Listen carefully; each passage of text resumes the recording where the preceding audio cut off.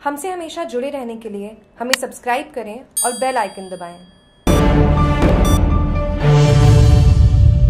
Mobile की दुकान से मोबाइल चोरी का पुलिस ने बहत्तर घंटों में किया पर्दाफाश चोरी किए गए छियालीस मोबाइलों की कीमत करीब 6 लाख चोरी की वारदात को अंजाम देने वाले दोनों बाल अपचारियों लिया संरक्षण में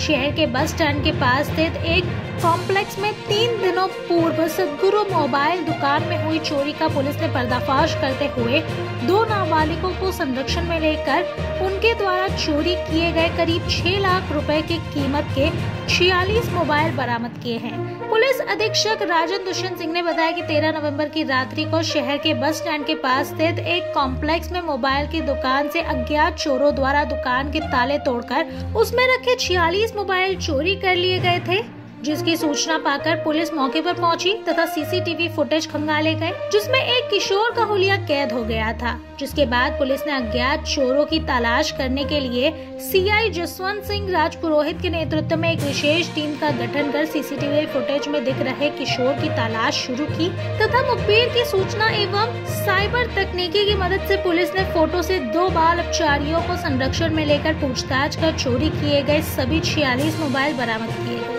जागरूक टीवी की सोजत सिटी से नथाराम बोराना की रिपोर्ट।